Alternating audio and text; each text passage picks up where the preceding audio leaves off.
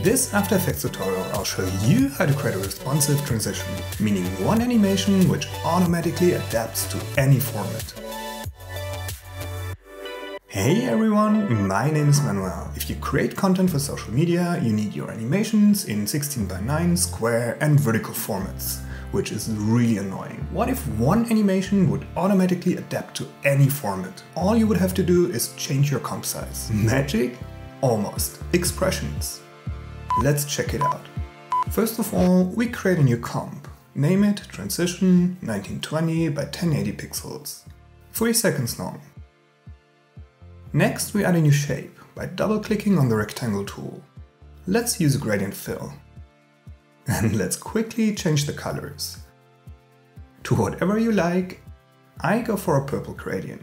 Then we quickly adjust the gradient direction and position. So far, so usual. But the size of the shape is defined by two numbers. So if we change the comp size, the numbers stay the same.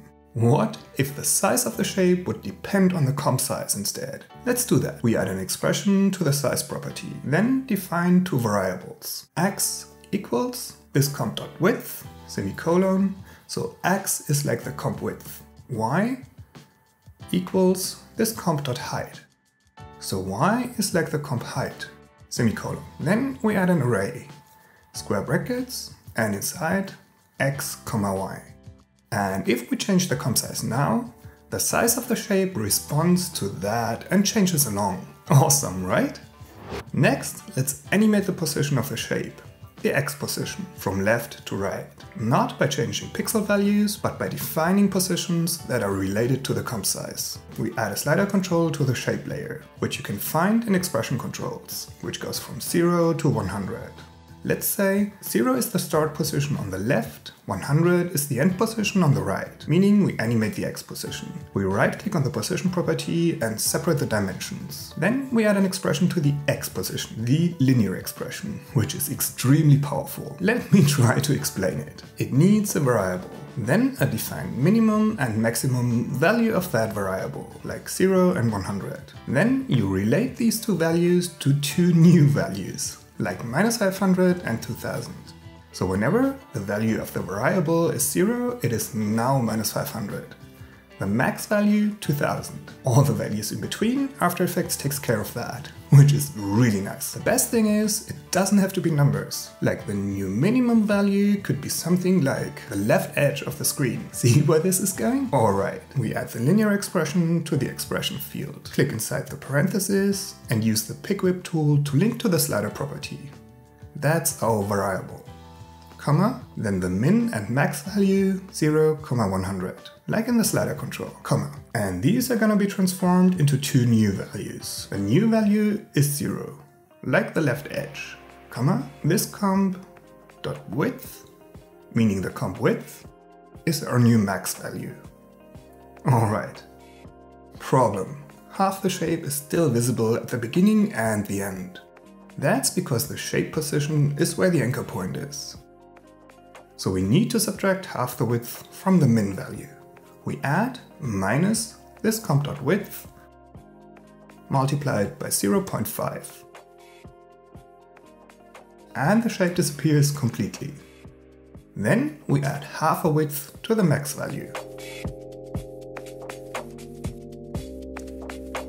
Before moving on, let's take a quick moment and check out an awesome animation course by Domestika.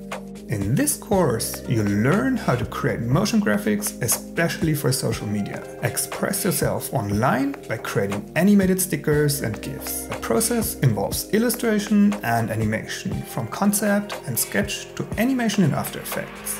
And finally, just as important, publishing your GIFs. I've added the link to the course in the description, and even better, use the code ManuelDoesMotion10 for an extra 10% off.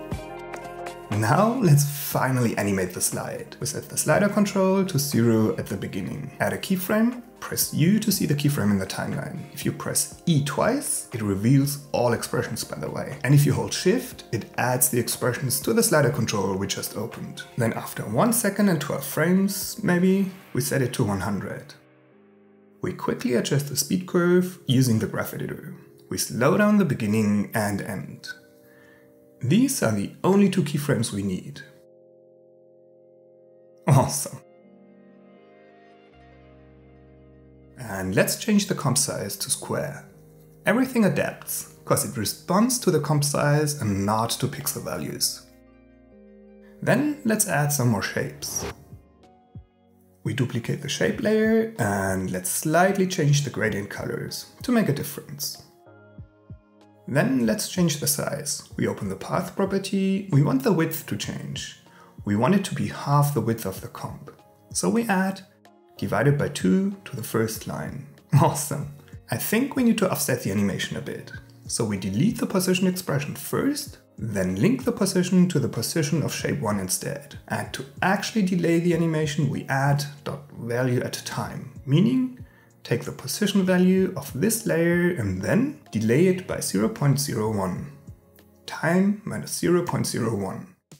So the layer is 0.01 seconds late. Let's duplicate it one more time, move it below, and let's actually reduce the opacity to 50%. And let's quickly open the path property and set the size back to full width.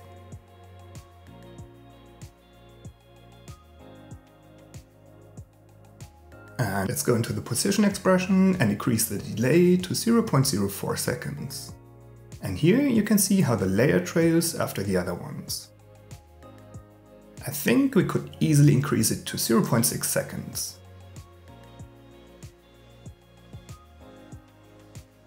Hey, let's grab the title tool and let's add some text. I use Bebas Neue Regular, size 250 pixels, which is available on Adobe Fonts. First of all, let's pin the anchor point to the center of the text layer. We add an expression to the anchor point property. First, we introduce a variable a equals sourceRectAtTime, semicolon. Source vector time reads the dimensions of the layer at the current time. Then we add an array, square brackets, and inside a dot left, comma a dot top. This pins the anchor point to the top left corner. So we still need to go half the width right and half the height down. We add plus a dot width divided by 2. And plus a dot height divided by 2. That's it, we end up in the center. We align the layer to the center using the alignment tool. Next, we add a set matte effect. We take the matte from the shape 1 layer, so it is only visible on this shape.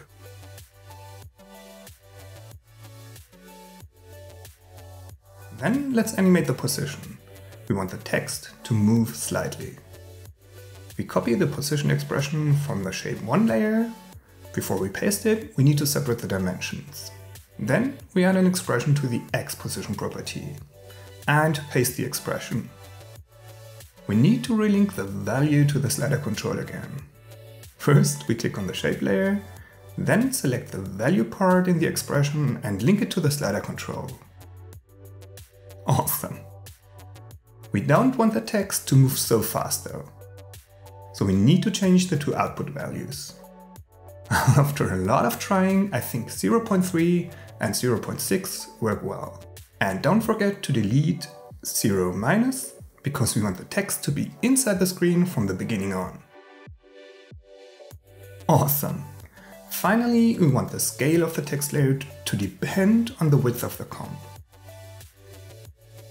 So whenever the format is narrower, the text scales down. We add an expression to the scale property and add x equals this comp.width. Then we add an array. Square brackets, we click inside and add x, comma x. Which is huge because it's percentage. So we need to shrink it down. Let's divide it by 19.2 each. And we're back to 100%. Of course. Who knows what's wrong?